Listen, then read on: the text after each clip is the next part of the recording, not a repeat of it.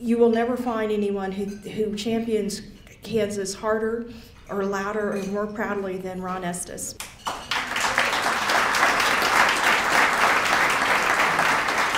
It's great to be back here. Um, you know, there's always a good lineup of speakers, and I just assumed I was the uh, the supporting actor when I saw Susan was uh, on the on the program today. So,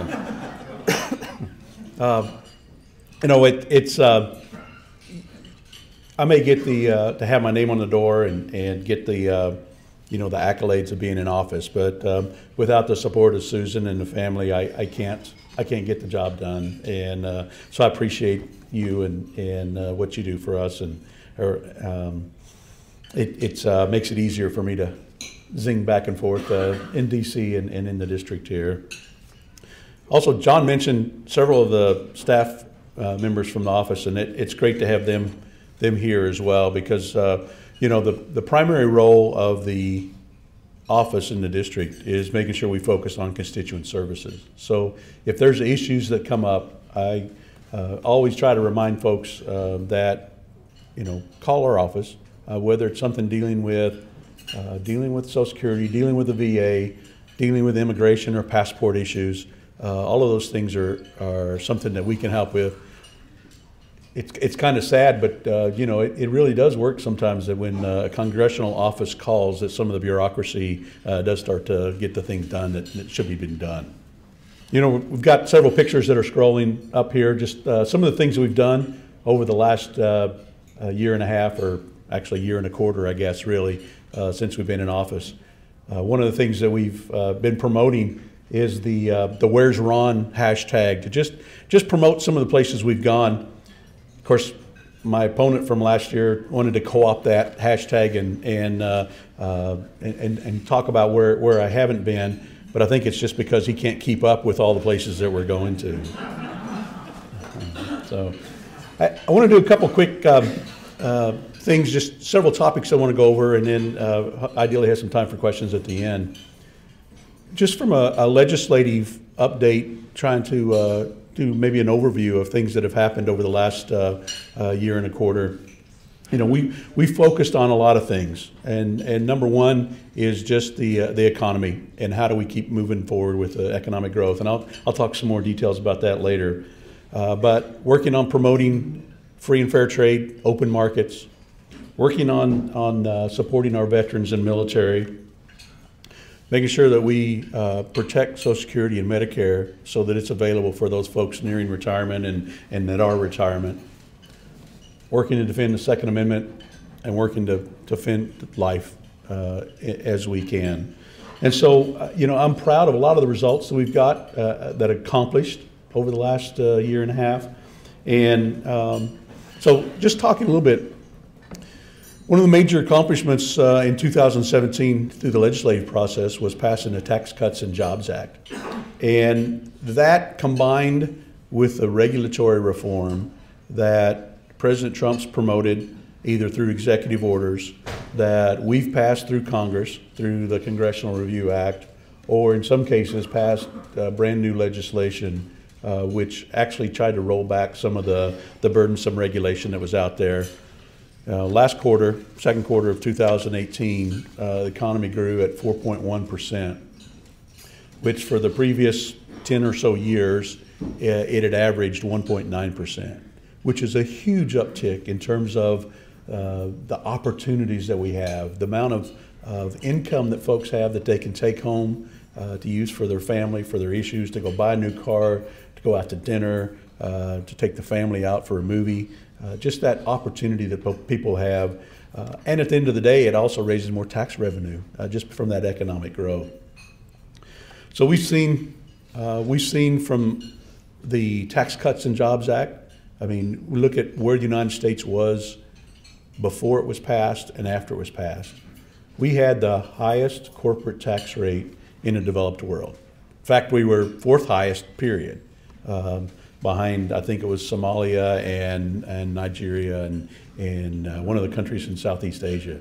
Uh, but what that was doing was that was disincentivizing companies to do business in the United States. We were actually telling employers that they should, they'd be better off uh, opening a plant in Europe or in Asia or South America instead of employed Americans to make products that we could export. And uh, what we'd seen over the years was an erosion of our tax base, an erosion of, of the middle class quality jobs in the United States. And so lowering that tax rate to be competitive, lowering it to 25% of the corporate rate, uh, uh, is a huge boost for, for the economy. Lowering um, pass through income for uh, subchapter S is down to uh, uh, 21%. First time ever that had been adjusted. You know, up until that time, it was all based on, on the tax of the individual. So basically, the highest individual rate, which at that point in time was 39.6%, plus all the surcharges for Obamacare that were on top of that.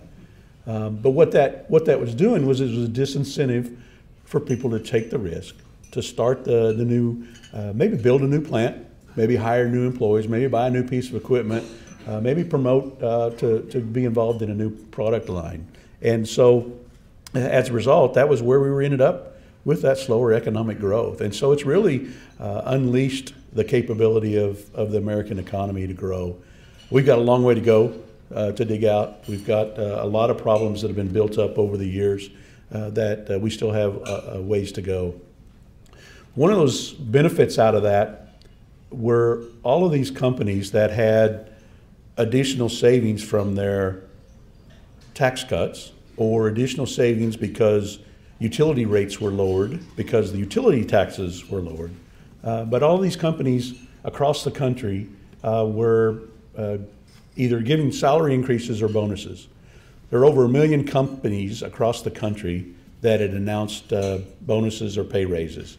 And, you know, just locally, uh, several of the companies that did Spirit, Cox Communications, Wichita Railways, Textron, um, and most recently Legacy Bank as well uh, joined that list of folks that have actually put out uh, either pay increases or or benefits or or bonuses for their employees. So that's more money in South Central Kansas in our economy, uh, helping with our growth and, and a positive thing. so, should we quit there? No. Uh, it was 31 years uh, before we got tax reform done uh, since, thank you, since the 1986 uh, tax reform. So, we're going to try a different approach going forward. We're going to look at, uh, on an annual basis or every couple of years, a process of what we need to do to help keep the tax code current with what's going on in the economy.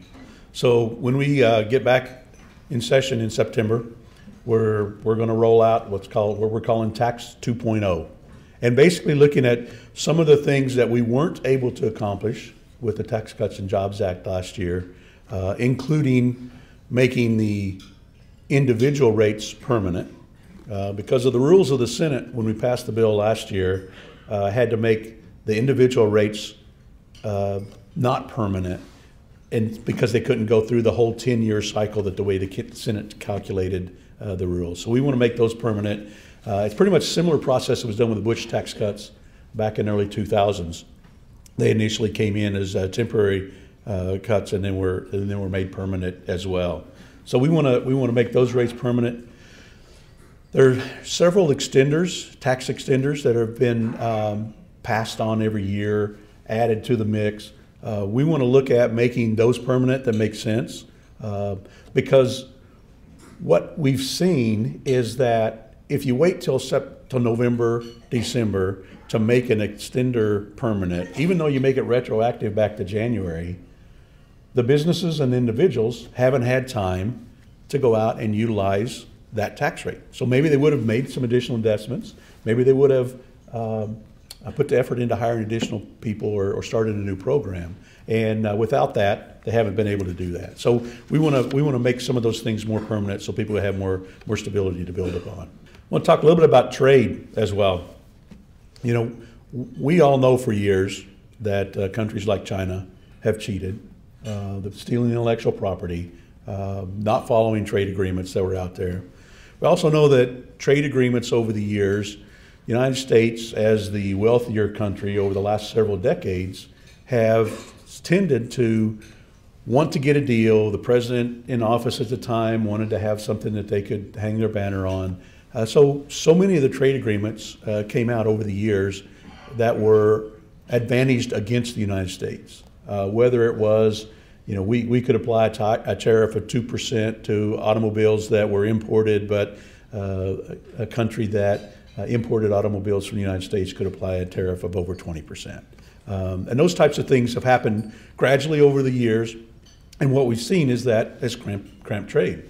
Um, the president's taken the right approach in terms of we need to we need to balance this out now. Um, as the European Union's grown as a as a big bloc, as China's become such a large uh, uh, part of the world economy.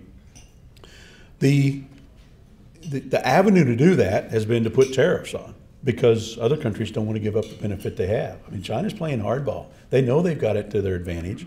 Uh, they're they're um, wanting to do as much punitive as uh, they can to help keep that advantage that they have. So, you know, the president's applied tariffs. Tariffs aren't the solution. That's not where we want to go. I mean, it's a tax. You don't want to add a tax onto the process.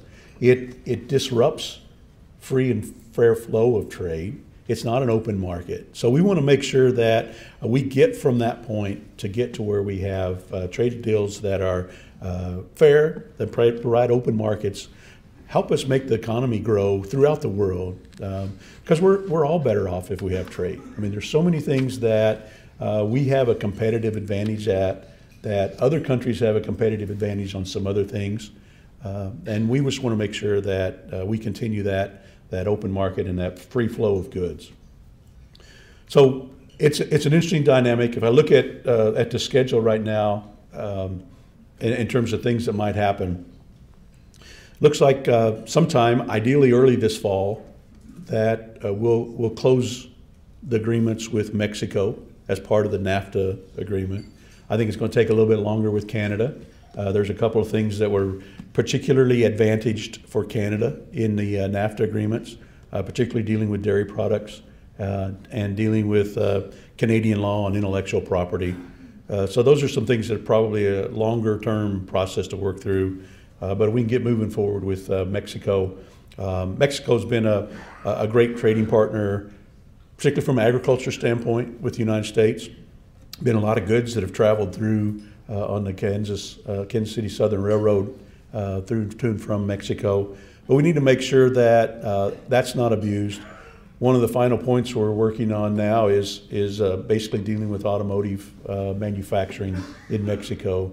there have been some instances where uh, European or Asian car companies would open a plant in Mexico, but they'd really take the components from their home country and basically tighten a couple of bolts, and then then it became a quote unquote NAFTA qualified product uh, to come into the country. So uh, that's part of what the administration's working on. So we want to make sure that we get back to open markets. Um, the the trade aid that was introduced uh, uh, I guess three weeks ago now, by the administration to help support the farming community, the agriculture community dealing with China. Uh, that's not the solution. That's not what farmers want. That's not going to solve the problem. Uh, what it is is it's a signal to China that the administration's serious. The administration's got the, the backs of uh, the farmers and uh, individuals across the country, and that the sooner China comes to the table to renegotiate, the better off we are. I want to talk a little bit about veterans in the military. You know, we've all heard the horror stories over the last uh, eight, ten years about the VA, some of the mistreatment of, uh, of individuals across the country. Uh, you know, that, that's, a, that's a poor state of affairs that that had happened. We put a lot of effort into this year passing several bills to help address that, help provide the Secretary of, of the Veterans Administration the ability to actually um, manage their employees and make sure that if there's issues with an employee, uh, that they could actually, um, somebody wasn't doing their job, that they could move them out and, and get somebody in that would do the job. Uh, you know, we've, uh, we've had, we've not had as many issues with the, uh, with the Dole uh, hospital here. but there's some things that could be improved there. You know, I, I know from a personal standpoint that um, my father was denied multiple times uh, being admitted into the VA in Topeka. Um, luckily for him, he'd worked for Goodyear and had a retirement uh, health insurance program, so it wasn't an issue for him. But just wondering how that issue would have impacted uh, him and, and how it impacted others as well uh, through that through that process.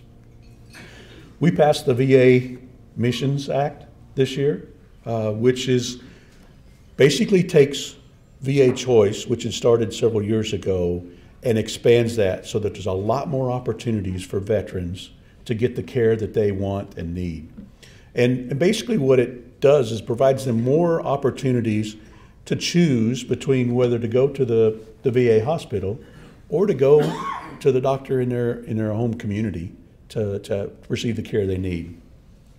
One of the things that has been a problem over the years is that, you know, if you, you live in Garden City or you live in, in Hays, uh, having to come drive into Wichita uh, to just have weekly test or monthly test um, was one of those things that you could do in a doctor's office in your home community and that does a couple things. One, it makes life easier for the veteran, uh, but it also helps the, the medical facilities in those in those rural areas, uh, you know, have more health care as well instead of having it all concentrated in the larger cities.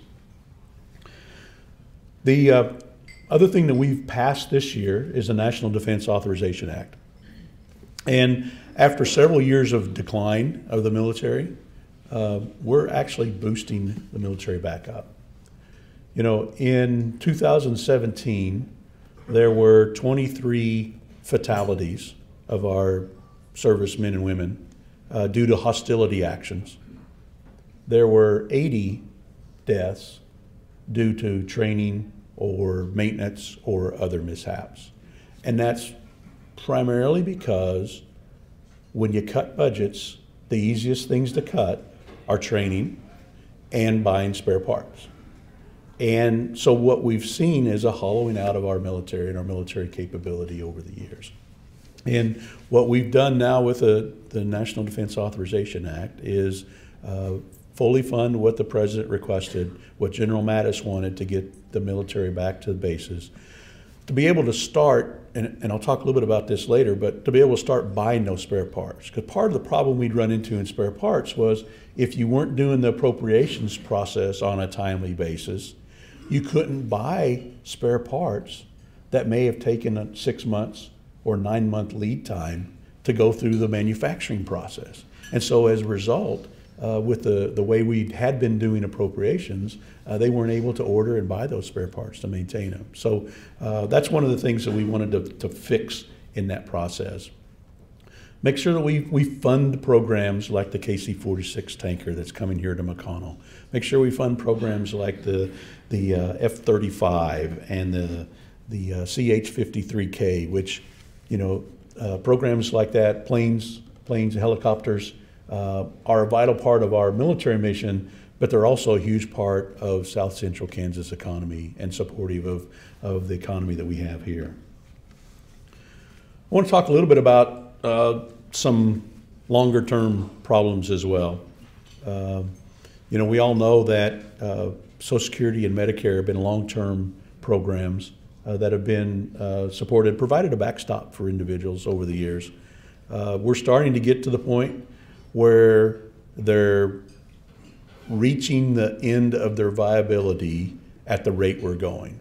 And my push is to make sure that we don't have to cut benefits, that we can preserve and protect them, make sure that uh, as we go through that process, we don't get to a point 10 years from now, 15 years from now, where benefits will have to be cut because we're running out of money. And I'll just give us a couple examples.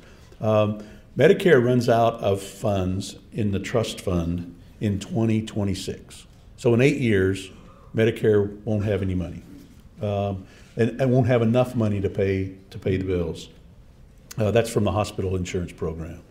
The combined Social Security uh, and Disability Fund runs out in 2034. Both of those have been creeping up each year and for those of you like me that have enough gray hair that can remember back in the 80s, there were some fixes put in to Social Security Administration so that it would have a lifestyle or lifespan of uh, 50 to 75 years. And uh, that's the kind of process that we need to come back to, to look at, to fix, uh, to make sure that uh, we're not at the point where we have to look at cutting benefits. Because if we don't do something by 2034, then we will only collect 70 cents on the dollar for the benefits that are promised for all the retirees and Social Security. So if we can start on it now, uh, it'll be less painful to fix, and it's going to become a bigger burden uh, as the budget deficit continues to grow. And, and uh, so I want to work to fight through that. I mean, that's, that's one of the things I did as state treasurer was to fought for KPERS in terms of making sure that we reform that and uh, made sure that uh, it got back to where it's, uh, it's moved a lot on the funding status uh, since the reforms that we put in place. We want to do the same thing for Social Security. So I mentioned appropriations a minute ago.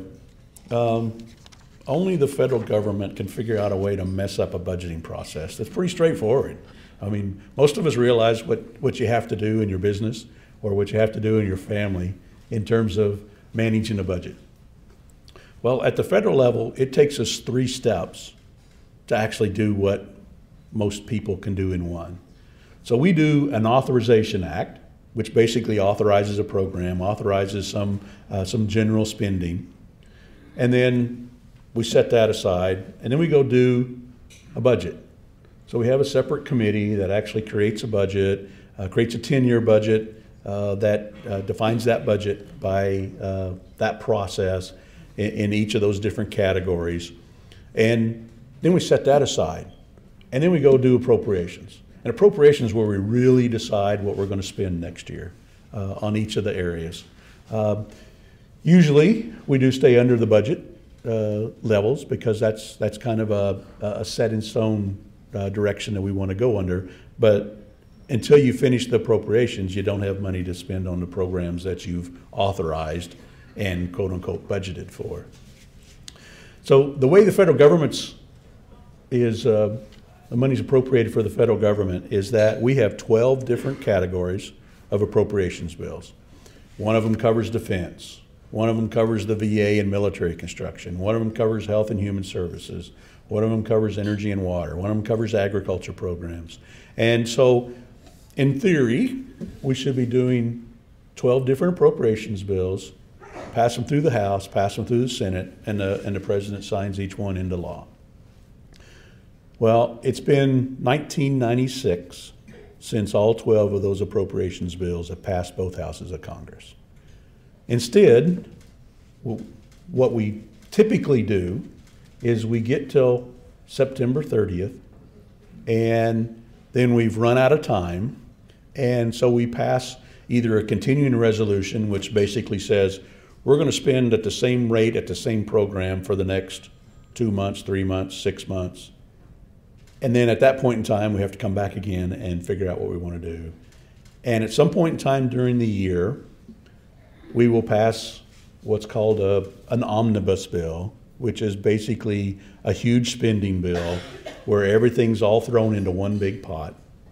It's a bill that has to pass, so all sorts of junk gets added into it that can't stand on its own, that people wouldn't vote for in, in, in the light of day. So uh, it gets passed as part of this, this omnibus bill. So we've put a big push on, uh, actually started before I came into, into the House, but uh, we've been putting a big push on to let's get back to regular order. Let's get back to what we all learned in civics class of the House introduces a bill, we debate it, we put amendments on it, we pass it, sends it to the Senate, and, and do that with appropriations. Do that for each of the 12 appropriations bills and, and get those through the process. So I, I mentioned since 1996, it's been 1996 since all 12 passed, uh, passed both houses of Congress. There has been one that passed in, in uh, since 2011, and that was during the Zika virus times, and the Health and Human Services budget passed. Uh, but that's the only time that it passed and was signed into law uh, since then. So last year, the House passed all 12 of the appropriations bills, uh, but the Senate didn't take up and pass any of them. Um, this year, we are going to pass some. It may be only five or six of them that get passed through the House and the Senate. So we've kind of taken a different approach on the House side this year, is uh, uh, working with the Senate to try to craft uh, some of those bills that uh, can work through and, and be uh, passed through the Senate. The Senate actually, because they're behind, are still in Washington uh, this week, and they have passed now seven of the appropriations bills. So we need to reconcile those with the versions that the House has passed, but I'm expecting that four or five or six might get uh, completed this year and passed into law. Uh, I don't know that we'll get everything passed, just because probably the thing that I've learned the most in the last year and a half is that if we don't have to make a decision, we'll put it off. I mean, if we'll put it off till next week, we'll put it off till next month, till next year, and so uh, hopefully we'll get we'll get through that process. The big value out of passing all 12 of those is that they're smaller bills they're more manageable. They have a specific content that you're looking for. And so you don't get a lot of crap thrown into them as part of that process. And so that's a big push that we want to put on uh, now and moving forward as well, just to make sure that uh, we're doing appropriate work with, with the taxpayer dollars. Um, just talking a little bit about some of the legislative accomplishments over the last uh, year and a half. Uh, you wouldn't know it necessarily by uh, listening to the media, but uh, there's been a lot of things that have that have worked through, uh, particularly worked through the House. Uh, we've passed over uh, 760 bills out of the House. Don't look at the man behind the curtain. um, the uh, unfortunately, there's over 560 of those that the Senate hasn't passed yet, and you might think, okay, so that's just the politi- politics back and forth. Well, of those 560 that the Senate hasn't passed, over three, roughly 300 of them uh, passed by unanimous voice vote in the House. So it's not like there's a lot of partisan activity that's keeping uh, those from moving forward. It's just the dynamics in the Senate that slowed down their whole process. Hence, that's why they're still working uh, this week, working on confirmations and, and uh, working on some other legislation.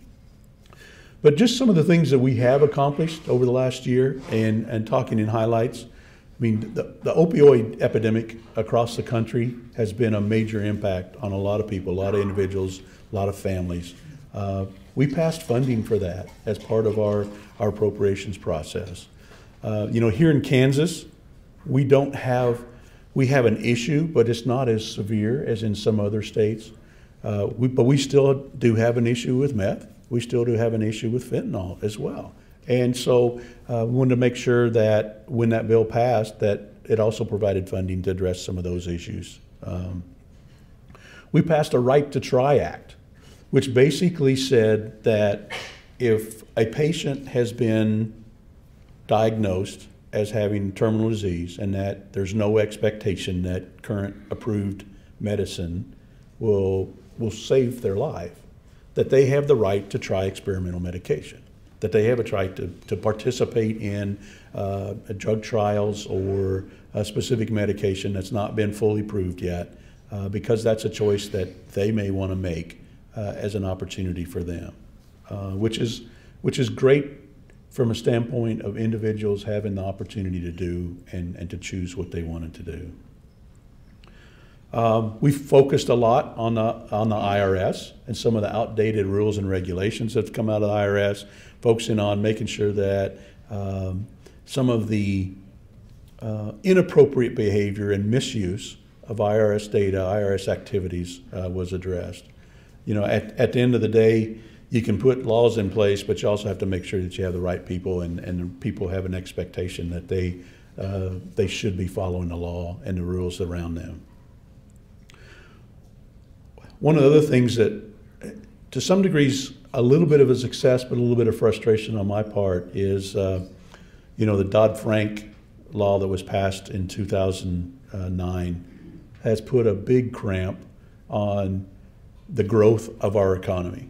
Uh, and what it did was uh, created a huge new bureaucracy, tied the hands of banks and credit unions, uh, tied the hands of lenders um, in terms of all, a lot of, in some cases, silly regulation. So we, we passed a regulatory reform in the, in the House, uh, which basically was a repeal of Dodd-Frank and, and uh, making sure that we had some common sense regulation moving forward.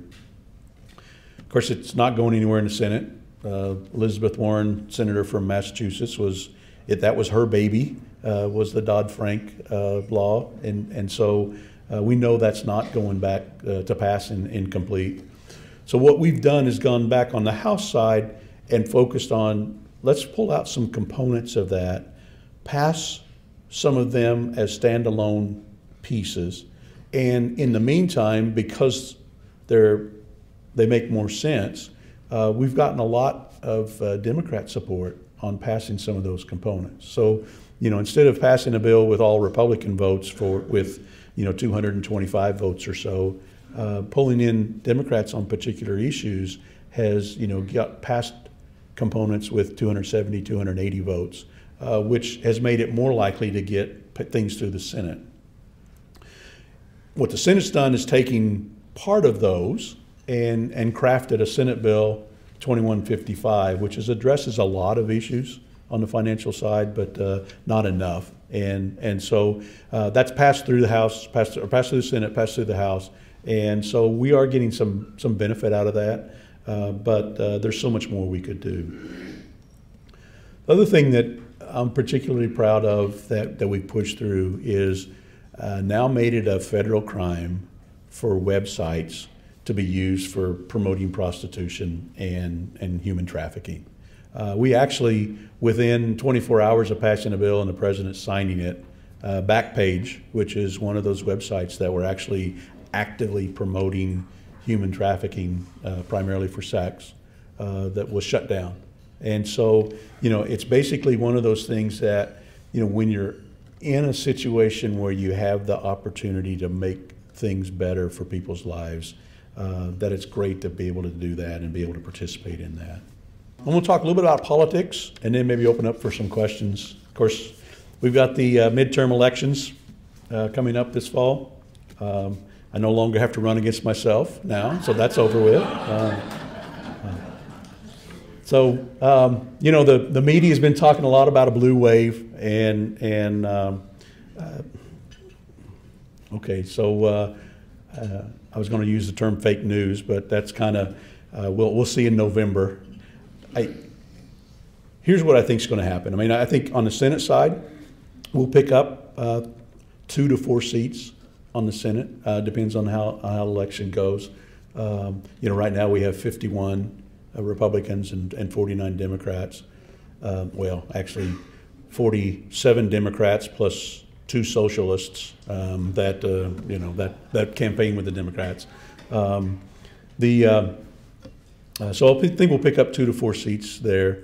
Um, the uh, the House has mostly been one that's talked about as as the Democrats taking control of that.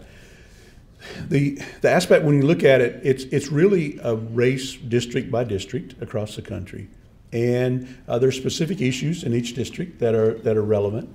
Uh, one of the things that cuts across that that's positive everywhere is just the economic growth, how good things are going. Looking at the accomplishments that we've uh, made over the past year and a half and, and keeping pushing through that process. You know, here uh, I'm running against the same guy I ran against uh, last year. And, um, and since then, he's, he's gotten more radical. He's turned hard to the left in terms of talking about the issues uh, wanting big government health insurance, wanting uh, more of the socialist policies. You know, brought in Bernie Sanders and Alexandria Ocasio Cortez to to help pump up the the um, the socialist message, uh, which which isn't good for Kansas. It isn't good for the country. And uh, what we're seeing now is uh, even the Democrats are having to fight back against the most extreme Democrat socialists within their party. And um, uh, the DNC or the DCCC runs uh, uh, campaign ads against in primaries against some Democrats because they don't want the hard hard left folks uh, because they know that's not what America wants. But we're going to continue that effort. We're going to, uh, you know, political pundits like Cook and, and others uh, rate this as a safe district, but we're not going to take it for granted. We're going to keep working hard and, and continue that process because, you know, somebody asked me once what keeps me up at night, and, and I guess standing here today thinking about it, it would be Nancy Pelosi as Speaker and Maxine, yeah, Maxine Waters is uh, the chairwoman of the Financial Services Committee. The, you know, she's the woman that told all the people that go attack Republican office holders, and um, that's just not that's just not the way of life that we want. Because you know, when you look back, the if the Democrats take control, they'll have the first three votes they'll have will be result in Nancy Pelosi becoming Speaker, um, will result in raising taxes, and will result in impeachment process against the president. So basically, everything that'll happen over the next two years will be hearings and conduct against the president administration, and all the positive things that have that have started uh, would be stopped. Um, just talking in general about Kansas, uh, we, of course, we have, um, you know, first district's a, a, relatively good district. Should have, uh, you know, Roger Marshall should be able to to uh, get reelection to that. Uh, Kevin Yoder in in uh, Kansas City area in the third district is going to have a tougher race. You know, the Bernie Sanders came and campaigned for one of the Democrats. The Democrat congressional committee campaigned for another one, and and uh, uh, she's actually going to be Kevin's opponent in uh, in this election. Uh, that we may not realize it because it doesn't really stand out much, but Hillary Clinton won that district. Uh, by uh, roughly one one percentage point in the election last year. So Kevin's got his work cut out for him. He's a good campaigner. I, I believe he'll win, um, but and continue to work through that process. The second district, where Lynn Jenkins is stepping down, is going to be uh, a, a, much more interesting race to look at. Uh, Paul Davis, the Democrat, has uh, who ran for governor, uh, won that district in uh, in the governor's race, uh, but he's just been collecting money. the Democrats didn't have anybody else running against him. Had a political newcomer to get elected there. Um, used used it was a seven-way race. Um, there's uh, family money that uh, that Steve Watkins uh, had to help him in his election, which uh, you know helped him get through that that primary. Uh, it'll be interesting to see. I mean, I've talked with Steve a couple of times, but uh, you know, as he goes through the campaign and, and positions himself as a candidate for for the general election, how that process works. Um, but I think at the end of the day. Um, having that, that nightmare of Nancy Pelosi is probably going to help a lot of voters in the second district uh, uh, vote for Steve as well and not vote for Paul Davis. We've uh, just had our governor's race. It was kind of interesting. Everybody in the country was watching Kansas uh, in that close race, um, which is which is it's good that it's over with now. Uh, I mean, uh, I know with having a, a multi-candidate race, uh, there's a lot of folks that uh, uh, their candidate didn't win in that process. Um, but now that we have our nominee, it's time to, to work towards November. Uh, we've got, we don't have a state or we don't have a U.S. senator on the ballot this year, but we have governor, lieutenant governor, and attorney general, secretary of state, insurance commissioner, and state treasurer all on the ballot, as well as all the state reps. And so it's a good opportunity for us, us as Republicans, to, to get together and, and work uh, and do another clean sweep through that process this year. So that's what I'm looking forward to. I know uh, everybody in this room's uh, engaged, actively engaged, if not in particular campaigns, uh, engaged in, in just what's the right message, what's the right thing we should be doing for the country. And uh, I, for one, appreciate you for what you're doing uh, whether you're helping with my campaign, whether you're helping somebody else. It's a, it's a great um, thing that we as, as Americans can have the opportunity and stay involved to, to maintain the, the uh, democratic republic that we have. You know, Ronald Reagan probably said to quote the best that, uh, you know, democracy is not a birthright, that it's only one generation away from extinction. And we have to be ever vigilant on that. So thank you for all you do in that regard. So.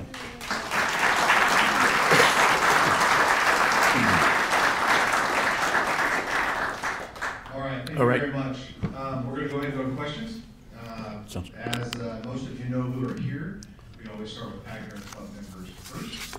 And uh, if there happens to be any time left over afterwards, then we'll, we'll reach out to others.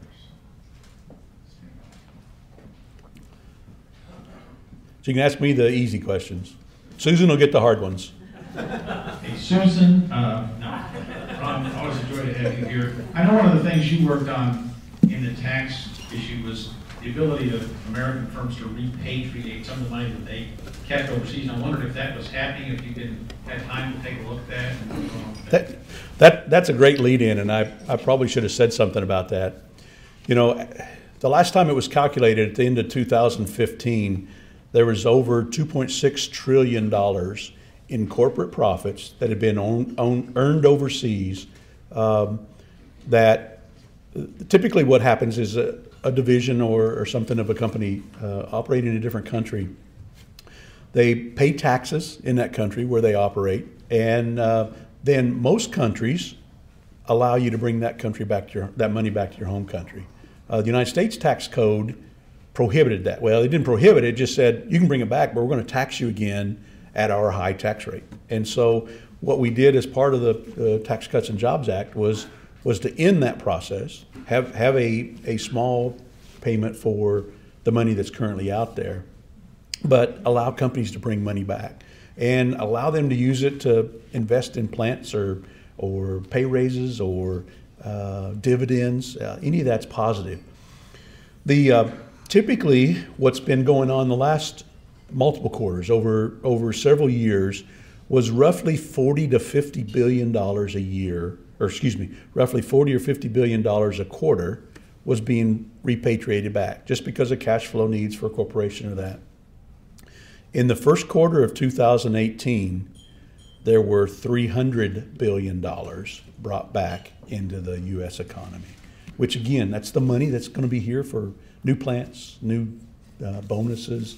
Uh, all of that's going to be good economic growth for the United States. So we're starting to see that. We haven't seen the second quarter numbers yet, but that was a huge, a huge uptick uh, on, a, on a quarterly basis. Congressman, uh, Yes. just, would you uh, kind of describe what the procedure would be and how a president could actually be, um, what do you call it, taken out of office, impeached? What has to happen to do that? So the process for that is the, um, um, there have to be some, some charges brought forth to the uh, uh, Judicial Committee on the House and, and, and work through uh, that in the committee.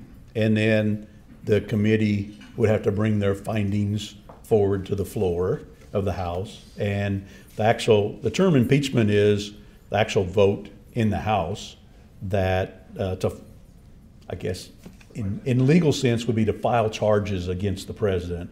And then it goes to the Senate to actually uh, convict him, if you will. So if you're trying to relate that back to uh, our judicial system, the way we think about it. But uh, that would start out first in the House, in the Judiciary Committee. So both of them have to be approved by both Senate and It has to be passed by the House. The, the actual impeachment occurs in the House, and the conviction occurs in the Senate um, in, in that process. So that again, that's one of those things where the Democrats take control of the the uh, House. That's some one of the things they'd start up, and you know it, it's kind of sad because some of the messaging out there is that uh, some of these Democrats come off as if they hate President Trump more than they love America in terms of the way they're attacking him. Yes, Steve. All right. um, Well, then I'll ask the question that I have, uh, just because it's something that we hear about an awful lot, and that is our national debt. And it seems like we continue year after year not to address that and kick that bucket down the road. Is that even something that realistically we can address or ever work on? Yeah, that that's a um, trillion dollar, multi-trillion dollar question. Um, you know, during the the Bush administration, the debt doubled from roughly five trillion to ten trillion. During the Obama administration, the debt doubled again from ten trillion to just under twenty trillion. Um, now it stands at at uh, just over twenty-one trillion dollars. One of the things that's one, we need to do some major things, uh, working with um, uh, uh, some of our, our major programs, whether they're entitlements or working with some of the programs that are, you know, we're trying to push to, to support. Like, for example, on the Farm Bill, uh, we put into the Farm Bill on the House version that if you're drawing food stamps, you should work 20 hours a week or work, uh, get an education uh, as a provision for drawing food, uh, food stamps. And it's, it's not that we're mean-hearted, because Americans want to have that safety net, uh, but we're at the point now where uh, what we're seeing is a lot of folks are, um, uh, the disincentive out there to work is there, and, and we're, we don't have enough people applying for jobs. We have uh, 6.7 million open jobs and only 6.3 million people looking for work. And so uh, that's a that's a step of it. The other thing, I was I was one of the first House members to call for a reinstatement of uh, the rescission process. So, for for decades, presidents have introduced rescission bills, which basically said, I know we have this much appropriated, but because of the way this program won, because we were more efficient, because um, uh, something happened in the in the dynamic, we got the job done. Uh, there's extra money left out there, and so uh, rescission bills were used to say, okay, let's give that money back to the treasury. Let's let's uh, not do that. So if you look at pres- going back to President Carter, Reagan, uh, George Herbert Walker Bush, Bill Clinton, all used rescissions. In fact, dozens of them. The lowest that I saw any president was was over 100 rescissions that they introduced. And the way that process works is the president introduces a rescission bill says let's cut spending on this particular program, and then the uh, the Congress has to approve it. That was stopped after 9/11, so George uh, W. Bush uh, didn't use rescissions. Barack Obama didn't use rescissions, and what we saw, as I mentioned earlier, is a doubling of the debt during each of those. So these are small things. We the we tried to pass a $15 billion rescission uh, earlier this year that the president had introduced. Uh, we couldn't get the Senate to pass it. Passed the House, but not the Senate. But basically, including in that were things like uh, funding for the Children's Health Insurance Program, which had been set aside in a bucket in case it was needed. But we had just recently reauthorized CHIP for 10 years and fully funded it for that. So that money was for the old CHIP program, no longer in place, no longer active, but we couldn't even get enough of a vote to, to not use that anymore.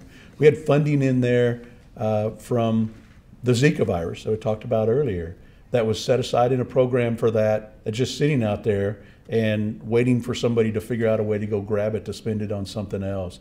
And so we've we've got to beat the drum more on um, how do we get our deficit under control. And uh, it's a, it's a shame to think that we might leave our kids and grandkids worse off uh, because you can borrow money as long as somebody's willing to lend it to you, and then when they stop, you really in a hurt world of hurt.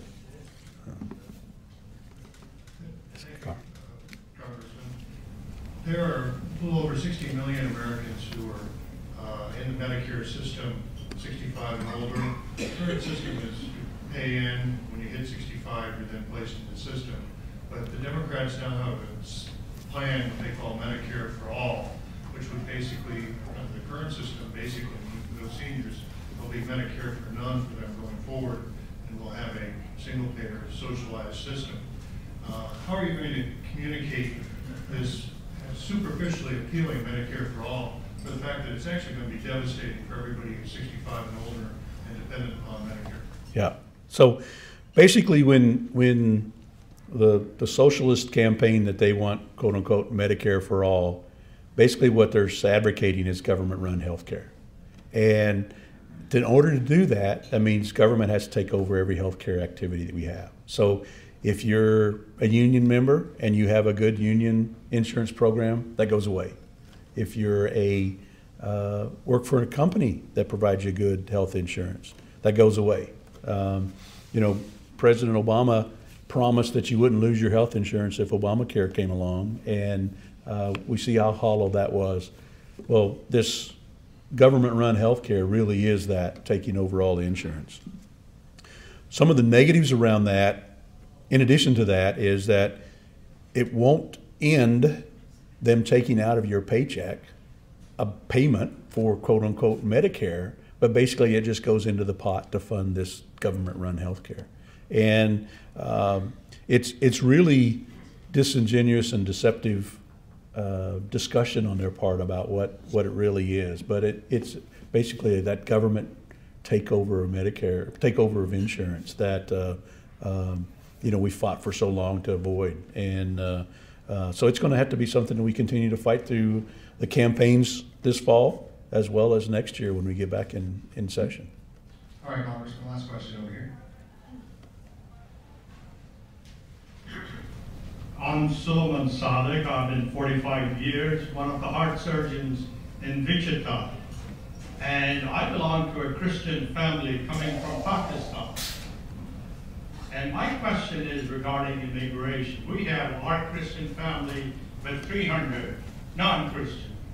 And I have seen in immigration, out of 1,000 families, refugees, there were only 50 Christian families. And I had written to Mike Pompeo the letter and got a very good answer from him. But I also want to ask what we are doing in that area, and also I strongly support what we are doing in Turkey for that pastor, Christian pastor, who is in prison for two years. Yeah.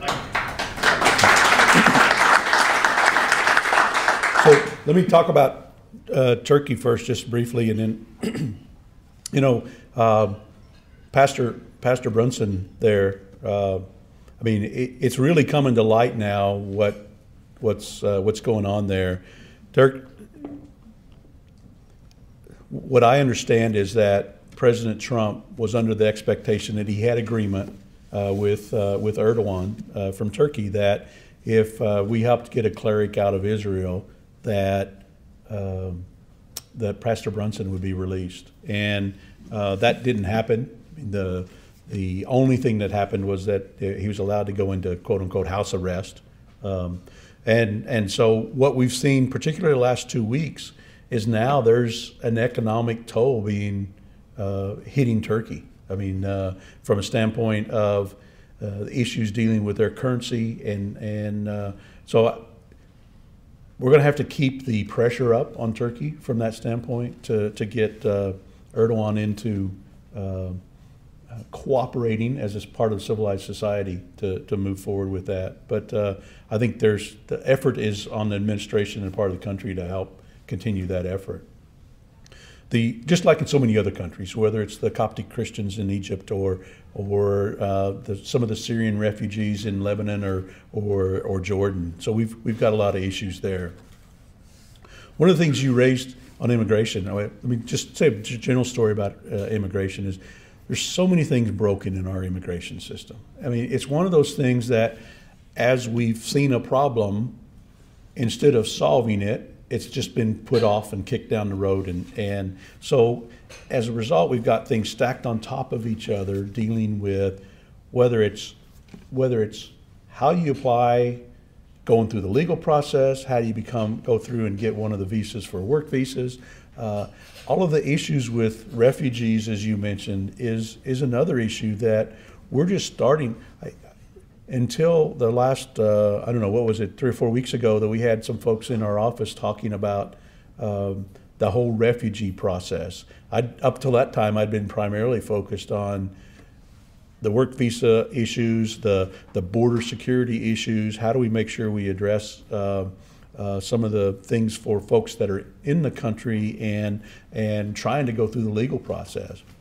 Um, but there's some some things, and I don't really know that I have the answer yet in terms of answering all of those questions. But uh, there's a, a, stream of refugees coming into the country um, that I'm not sure there's enough process being done to address why they're coming, how we track them, what are they here for, why are they here, and, and how do we fit them into the immigration process, or should we be fitting them into the immigration process?